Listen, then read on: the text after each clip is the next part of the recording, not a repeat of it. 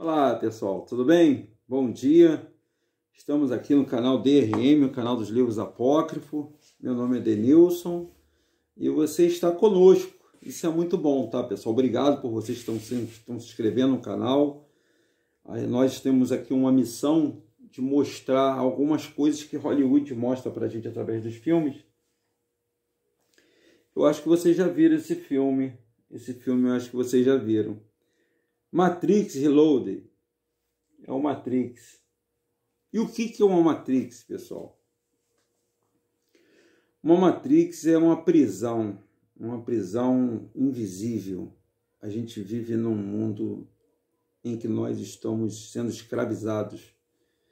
E a Matrix, esse filme aí, ele, ele é um divisor de água, tá, pessoal? Muita gente já viu esse filme e o engraçado é que ele não é um documentário, né? É uma mensagem para gente. Há pessoas que, que acreditam na teoria da conspiração. Isso é uma mensagem. Nós já vimos de tudo nessa vida, né? Palavra de Deus adulterada, a escritura sagrada adulterada, o homem egoísta, o homem dominando sobre o outro homem, a gente não entende que essa maldade ela não é humana, gente, que está acontecendo no planeta. Ela não é humana, ela tem que ter uma, tem que ter uma explicação para isso, né? Há, espíritos envolvidos nisso, há anjos caídos envolvidos nisso. E esse filme aqui mostra um pouquinho para gente. Né? Esse aqui você sabe que é o Morfeu, esse é o Morfeu, esse é o Neo, Neo e Morfeu. O Neo, ele é um, ele é um programador e ele não sabe do que se passa realmente, que nem a gente aqui, nós não sabemos, nós somos vigiados o tempo todo. E ele e ele é chamado, ele é convocado, ele é o escolhido. Mais ou menos como o Messias, né? Ele é o escolhido, ele é escolhido para libertar o sistema, o, todos os seres humanos do sistema Matrix. Será que ele consegue? Vamos ver o filme? Vamos ver um pedacinho do filme? comentando o filme Matrix para você. Deixa eu aumentar o som. Ali ele tem duas pílulas. E ele vai mandar a pessoa escolher. É última chance. Depois disto não haverá retorno. Se então, tomar tá a pílula azul, fim da história. Vai acordar em sua cama e acreditar no que você quiser. Se tomar a pílula vermelha, fica no País das Maravilhas. E eu vou mostrar até onde vai a toca do coelho. Então ele tinha duas opções: escolher a pílula azul ou a pílula vermelha. Deixa eu voltar aqui um pouquinho. Deixa eu voltar um pouquinho aqui para mostrar uma coisa para vocês. Então você já sabe que tem uma escolha, né? A gente tem uma escolha de vida. Você escolhe ser salvo ou ser condenado. Deixa eu ver aqui.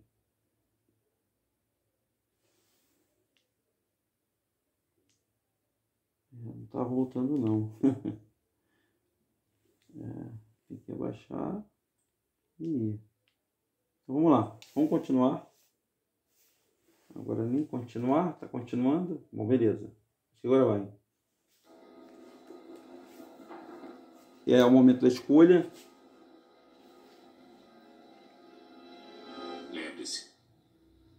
Eu estou oferecendo a verdade, nada mais. Ele escolheu ver mais coisas. Ele escolheu enxergar a verdade à frente. Isso lembra muito uma passagem que o nosso Salvador disse que a gente tem que ter uma escolha na vida. Tem dois senhores, né? Tem a porta larga e a porta estreita e as decisões a gente tem que tomar na vida. Então, tá aí uma, uma representação. Ele está com a pílula na boca vermelha, que representava seguir em frente e não retroceder e não parar. A pílula eu, eu posso considerar como uma escritura, uma escritura sagrada, gente. Quando você começa a conhecer um pouquinho da verdade, é um caminho sem volta. Você não tem mais como você voltar quando você descobre que todo esse sistema religioso, sistema político, sistema financeiro trabalha para poder eh, enganar as pessoas, é um caminho sem volta. Deixa eu voltar um pouquinho aqui. Deixa eu ver se eu consigo voltar agora. Acho que eu consigo voltar, hein? Vamos ver se eu consigo voltar. Eu acho que não consigo voltar. Eu acho que eu não consigo voltar. Rapaz, é complicado isso aqui, hein? Complicado. Deixa eu ver aqui. Tá seguindo o vídeo aqui. Vamos continuar então com o vídeo, já que... Vamos continuar. Bom, vamos continuar assistindo. Matrix, esse filme aí fez muito sucesso. E eu gostaria só de mostrar mais um pouquinho para você. Verdade, nada mais. Ele escolhe a vermelha.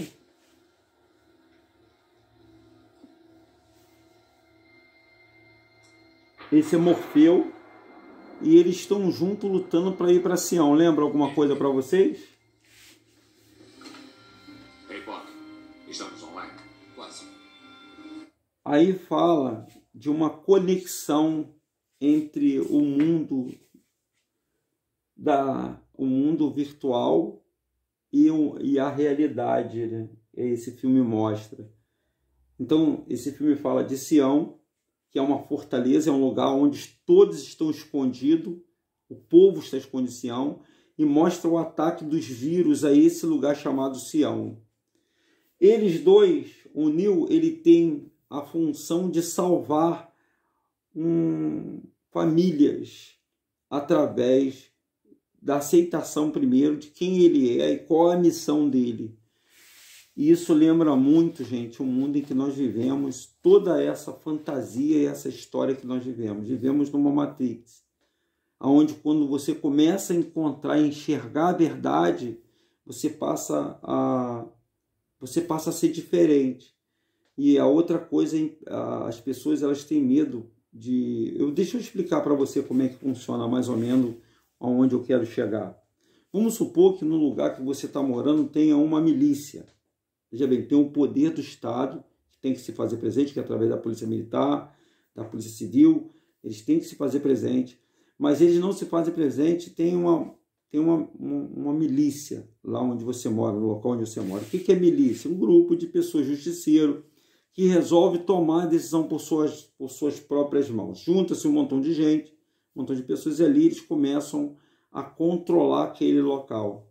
Aí você quer fazer uma denúncia. Vou dar um exemplo aqui. Você é um vendedor de água, um vendedor de ovo, ou você tem seu comércio, você quer denunciar essa milícia para o Estado. Quer falar para o Estado, olha, tem um, um, eu já pago já o Estado, mas tem um grupo de pessoas aqui que elas estão me cobrando para poder abrir meu comércio. Aí eu pergunto: você está lutando contra o quê? Um cis, um sistema.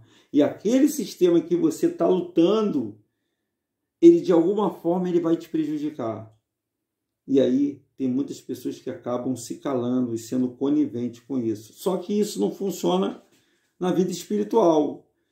Na vida espiritual, houve um homem que abalou o sistema do mundo esse homem se chamou Yahushua.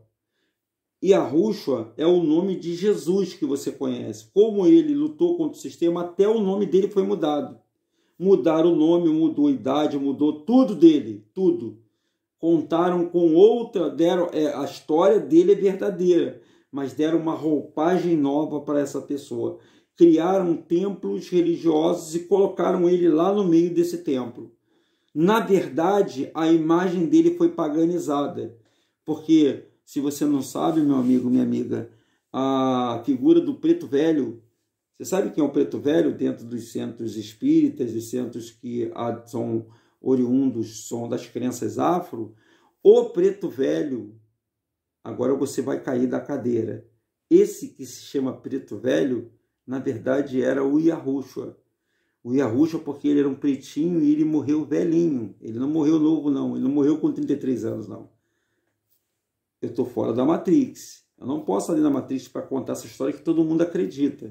Esse que se chama preto velho, na verdade era o Yahushua o Yahusha porque ele era pretinho ele morreu velhinho. Ele não morreu novo, não. Ele não morreu com 33 anos, não. Eu estou fora da Matrix. Eu não posso ali na Matrix para contar essa história que todo mundo acredita. A história verdadeira do Salvador da humanidade, ele morreu com quase 100 anos ou mais de 100 anos morreu bem velhinho e ele não foi crucificado, ele foi levado para o madeiro. E ele desafiou todos os governos aqui da terra, todos. Todo governo, república, comunismo, socialismo, ele, ele desafiou através da sua monarquia.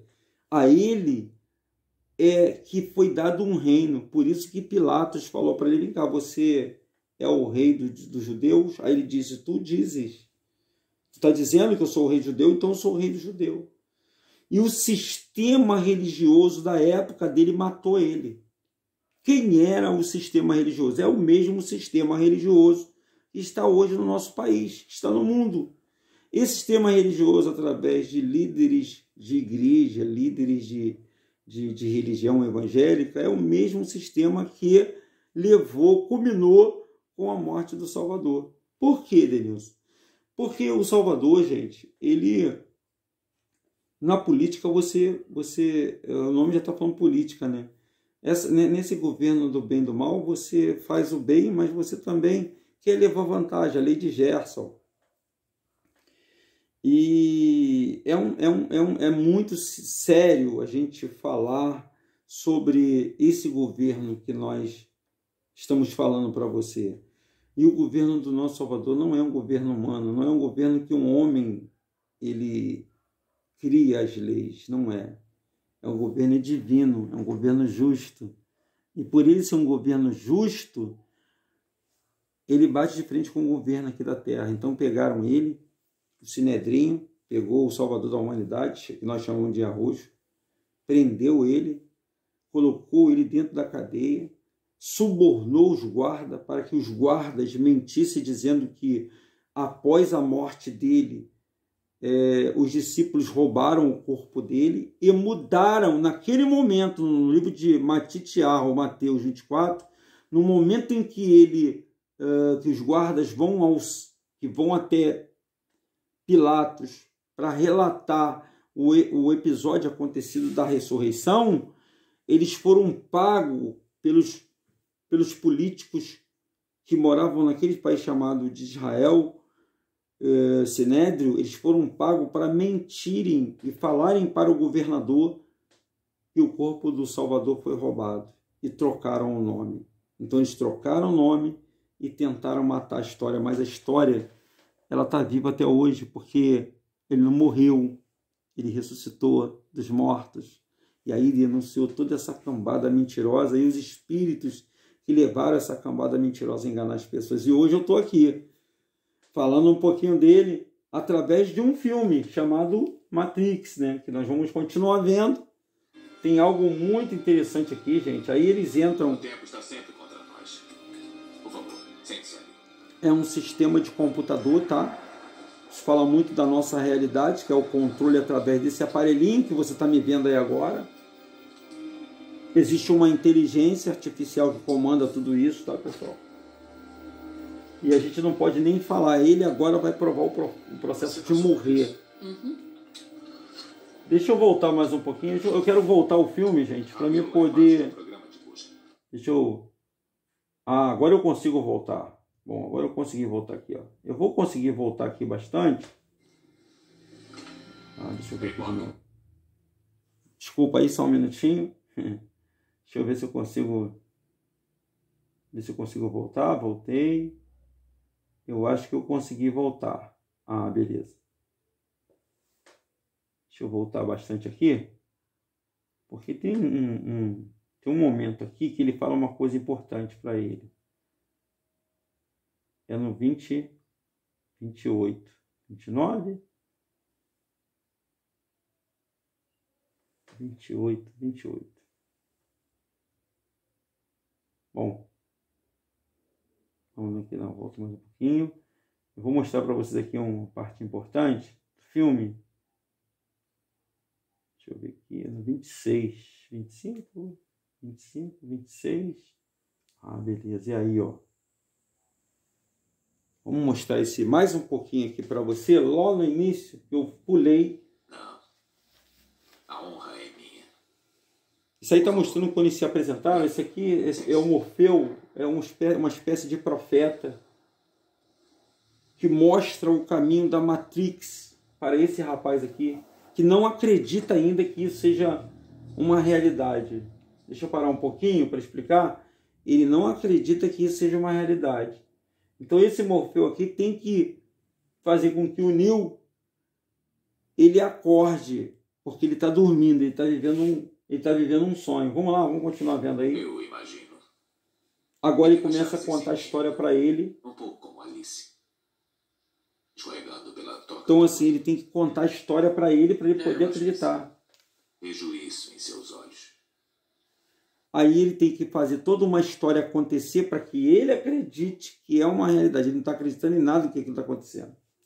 Você é um homem que aceita o que vê. Porque pensa estar sonhando.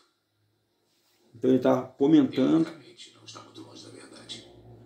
Então ele está dizendo que o Neil vive sonhando e que tudo para ele é novo, tá, gente? Ele trabalha na repartição de um banco, sabe? Vocês vejam o filme que vocês vão ver. Eu só vou comentar algumas partes. está em Neil?